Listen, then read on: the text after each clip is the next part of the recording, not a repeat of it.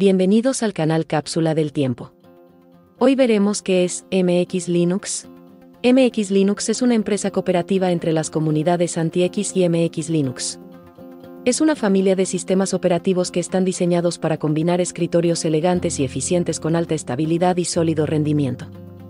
Las herramientas gráficas de MX brindan una manera fácil de realizar una amplia variedad de tareas, mientras que las herramientas Live USB y de instantáneas heredadas de AntiX agregan una portabilidad impresionante y capacidades de remasterización. Se encuentra disponible un amplio soporte a través de videos, documentación y un foro muy amigable. MX Linux se basa en el excelente trabajo previo de la comunidad de código abierto, implementando XFCE4, KDE y Fluxbox como entorno de escritorio administrador de ventanas sobre una base estable de Debian. Nos basamos en el sistema anti-X central e incluimos el trabajo y las ideas utilizadas por Warren Woodford para su proyecto MEPIS. Los backports en curso y las adiciones externas a nuestros repositorios sirven para mantener los componentes actualizados con los desarrollos. MX Linux comenzó con una discusión sobre las opciones futuras entre los miembros de la comunidad MEPIS en diciembre de 2013. Los desarrolladores de AntiX se unieron a ellos y trajeron el sistema de compilación ISO, así como la tecnología Live USB DVD. El nombre, MX, fue elegido para combinar la primera letra de MEPIS con la última de AntiX, simbolizando así su colaboración. Para aparecer en DistroWatch, MX Linux se presentó como una versión de AntiX y lanzó su primera versión en marzo de 2014.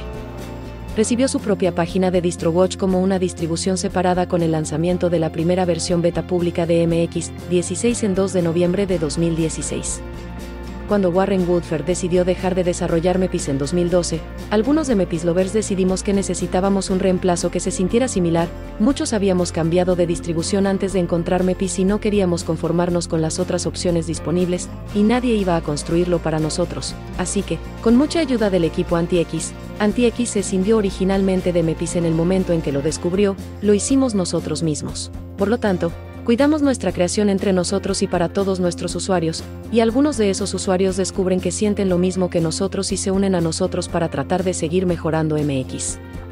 Para algunos es un pasatiempo, para otros es recompensar a la comunidad de software libre que nos ha dado tanto, para otros es un trabajo de amor.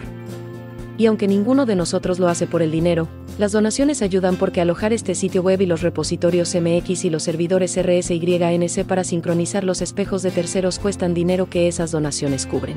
Debido a que el uso de Systemd como administrador de sistemas y servicios ha sido controvertido, queremos ser claros acerca de su función en MX Linux. Systemd se incluye de forma predeterminada pero no está habilitado. Puede escanear su sistema MX y descubrir archivos con nombre System de asterisco, pero estos simplemente brindan un gancho punto de entrada de compatibilidad cuando sea necesario. MX Linux usa de SHIM, que emula las funciones de Systemd que se requieren para ejecutar los ayudantes sin usar el servicio de inicio. Esto significa que SVS Binit sigue siendo el inicio predeterminado, pero MX Linux puede usar paquetes de Debian cruciales que tienen dependencias Systemd como CUPS y Network Manager. Este enfoque también permite al usuario conservar la capacidad de elegir su inicio preferido en la pantalla de inicio, Group. MX Linux está fundamentalmente orientado al usuario, por lo que incluye una cierta cantidad de software que no es libre para garantizar que el sistema funcione de inmediato tanto como sea posible. XFCE MX Linux, XFCE es nuestro buque insignia. Es un entorno de escritorio de peso medio que pretende ser rápido y de bajo consumo de recursos, sin dejar de ser atractivo y fácil de usar. Aumenta la configuración nativa de XFCE con características únicas. Componentes centrales modulares para la funcionalidad completa que se espera de un entorno de escritorio moderno. Una colección de herramientas MX, poderosas y prácticas que cubren una variedad de acciones, desde opciones de arranque hasta administración de repositorios un instalador de paquetes rápido que cubre aplicaciones populares, MX Test Repo, Debian Backports y Flatpaks.